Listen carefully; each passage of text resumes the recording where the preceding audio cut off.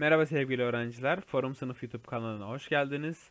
Bugün sizlere MEB yayınları 3. sınıf Türkçe ders kitabının 66, 67, 68 ve 69. sayfalarını cevaplayacağız. Sayfa 66'dan başlayalım. Cumhuriyet ile ilgili bildiklerinizi arkadaşlarınıza anlatınız. Burada siz kendiniz bildiklerinizi anlatacaksınız sınıfta.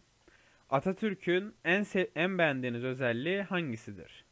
Atatürk tercih ettiği okullarda kendi fikriyle seçmesi ve bu seçimin doğru olacağına inanması, daha sonra savaş sırasında vermiş olduğu önemli kararlar ile savaşın seyrini değiştirebilmesi gibi önemli özelliklere sahiptir. Bunun dışında ileri görüşlülüğü ve liderlik özelliği olması önem taşıyor. Sayfa 67 Kelimelerin anlamlarını tahmin edip yazınız. Yeni öğrendiğiniz kelimeleri sözlük defterinize ekleyiniz. Fen Fizik, kimya, matematik gibi birkaç bilim dalına verilen isim olabilir. Sanat, resim, müzik, heykel gibi insanların duygularını belli etmek için dışa vurduğu eserler. Çalışkan, bir konu hakkında fazlasıyla deneyim sahibi olup düzenli olmak. Soruları izlediğiniz marşa göre cevaplayınız. Cumhuriyet çocukların özellikleri nelerdir? Bilgili, akıllı ve çalışkanlardır. Bilimden ve fenden hiç şaşmazlar. Cumhuriyet çocuğu ve bilgiyi ararlar.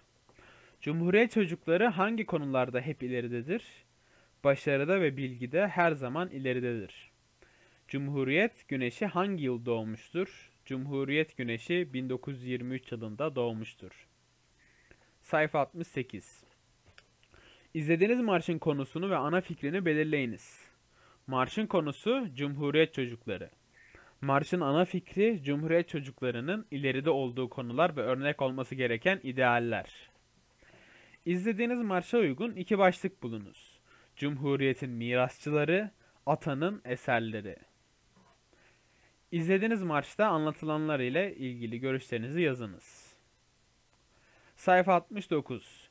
Atatürk'ü hiç tanımayan birine Atatürk'ü nasıl tanıtırsınız? Atatürk'ün 8 ülke tarafından saldırı altında olduğu günlerde halkı ayakta tutup 8 ülkeye karşı birden savaşıp yeni bir ülke kurabilen tek lider olduğunu söylerdim. Kelimeleri özenli ve okunaklı şekilde yazınız. Televizyon, ütü, buzdolabı, ayna, çamaşır makinesi, bulaşık makinesi, fırın, süpürge, terlik, halı, masa, sandalye, kelimelerini okunaklı ve özenli bir şekilde sayfa 69'daki boş yerlere yazınız. Videomuzun sonuna geldik. Forum sınıfı takip ettiğiniz için teşekkürler. Videoyu beğenip kanala abone olmayı unutmayın. İyi dersler dileriz.